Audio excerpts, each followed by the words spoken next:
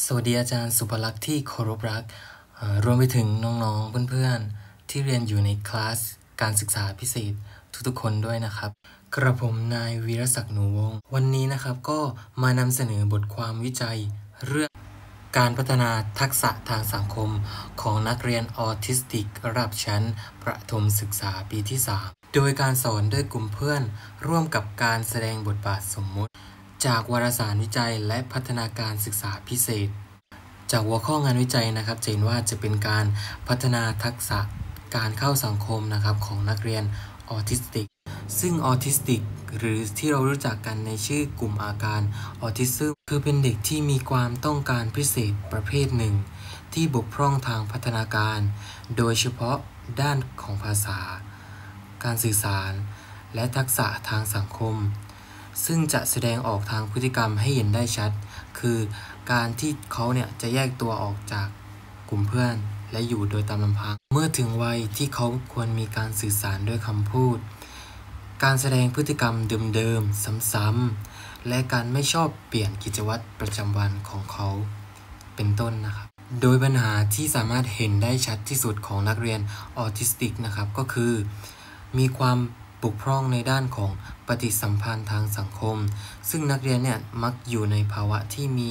พัฒนาการด้านภาษาล่าช้าร่วมกับความบกพร่องทางสังคมสำหรับจุดมุ่งหมายของงานวิจัยชิ้นนี้คือ เพื่อพัฒนาทักษะกระบวนการเข้าสังคม ให้กับนักเรียนออทิสติก ระดับชั้นประถมศึกษาปีที่ 3 โดยการสอนด้วยกลุ่มเพื่อน ร่วมกับการแสดงบทบาทสมมุตินั่นเอง โดยกลุ่มเป้าหมายที่ใช้ในการศึกษาคือ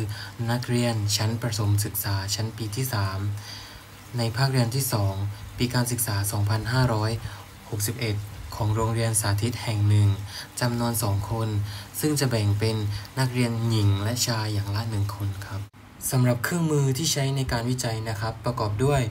1. แผนการสอนทักษะทางสังคม โดยการสอนด้วยกลุ่มเพื่อน ร่วมกันกับการแสดงบทบาทสมมุติ ทั้งหมดจะมี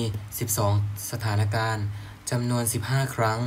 สัปดาห์ละ 2 ครั้ง โดยทำการทดลองวันละ 5 นาที จะเก็บข้อมูลในช่วงเวลาพัก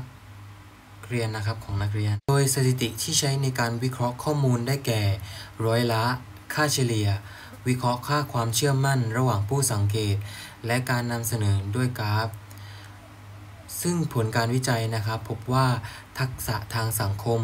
ของนักเรียนออทิสติก ทั้งสองคนนะครับ หลังที่ได้รับการสอนด้วยการเรียนด้วยกลุ่มเพื่อน ร่วมกันการกับแสดงบทบาทสมมุตินะครับ มีความดีขึ้นสูงขึ้นกว่าก่อนการได้รับการสอนด้วยกลุ่มเพื่อนนั่นเอง ก็จบไปแล้วนะครับสำหรับการนำเสนอบทความวิจัยในเรื่องนี้นะครับ หวังว่าทุกคนนะครับจะมีความเข้าใจ